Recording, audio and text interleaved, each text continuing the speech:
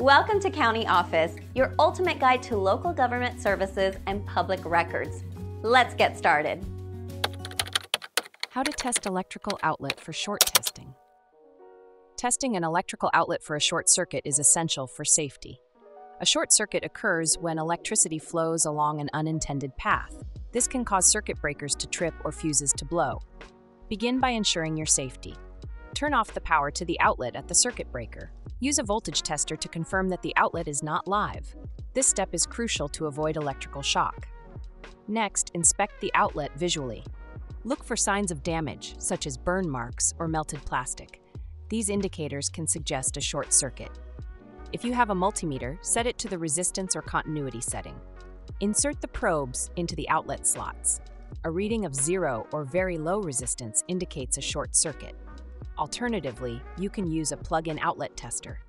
These devices can help identify wiring issues, including shorts. Simply plug it into the outlet and read the indicators. Remember to restore power only after testing is complete. If you identify a short circuit, it is advisable to contact a qualified electrician for repairs.